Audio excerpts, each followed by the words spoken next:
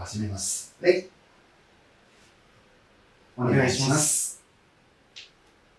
素振り、天心真っ向。6、えい、7、えい、8、えい、9、えい、10。ストップ。静眼。まあ、盾をやっている中で、まあえー、と切り手がいくつもあると思うんですけども技がどうしてもブツブツ切れてしまったりするので、うんまあ、ちょっと連動させるような動きについてちょっと教えていただけたらなとはい思います。えっ、と、技が切れるというのは、その一つの技をやって、一つ止まる。そうですで、止まっていくっていう。バラバラになってしまっているのがあるので例えば、まあ、連続手とかそういったものをまあ滑らかにできたらいいかなと。わかりました。はい。組手の位置から、はい。えー、ちょっと段階を追ってやっていきましょう。はいえーと、まず点ですね。上段から点。はい。これ次に普通に上段に戻して、はい。上段に戻して、このチーム。はい。もう一つチーム。はい。で、最後に、僕あえてその連動でいったら、こっちに逃げます。はい。そしたら、返して、点。うんそうそうそうそう。こう、うん、こう。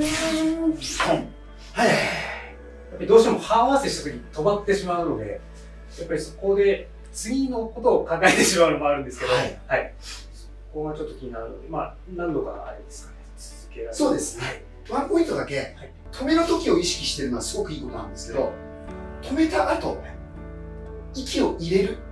連動するときに、で入れたときに足も一緒にで出るような感じで。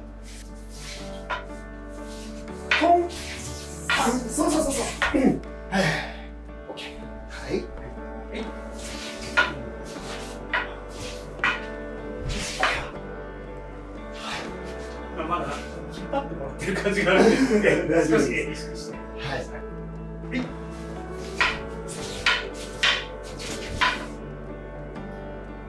一回ちょっと体相手じゃなくて前にパタンとちょっとこっち向いてて一発目こういきましたよね。で次この振り上げるとき振り上げるときに足をもう出してストンと。はい。で次にこれも次足はこれだけなんですけどこうとこうやって天心みたいにこうなったんだけど後ろは引かなくてよくて一歩出る間にスーッとあ、そうです、そうです。多分剣道とかやってるけど、剣道だとここまであんま来ないんですそうですね。その分やっぱり左足を出すのもそういう意味では。あそうだよねあそうかそうかはい右、右ですもんね。ずっとこればっかり。うん、あ、でもいい、いいあれですね。こっから、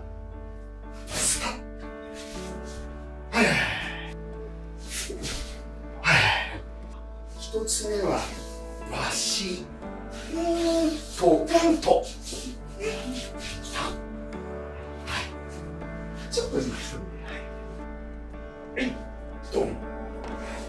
るそあ今のいいじゃないですか今のいいですうんはじめ止めは、イメージがね